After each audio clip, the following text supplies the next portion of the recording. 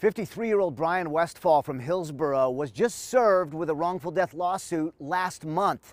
He was the last known person to see the missing mom before she vanished in 2005.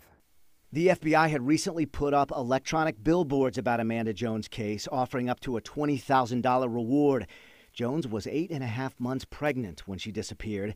She left behind a daughter who was four years old at the time, now 20. Brian Westfall was the father of Jones's unborn child, and he'd met with Jones right before she disappeared. It was a meeting to discuss the baby. This afternoon, Jones' family issued a statement saying, The sudden death of Brian Westfall has shocked all of us beyond belief.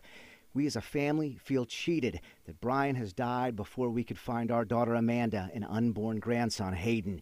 Jones' family went on to express condolences to Brian Westfall's parents saying the Westfall family can lay their child to rest in a sacred place. Quote, we still have not had that opportunity. We did not see this coming at all.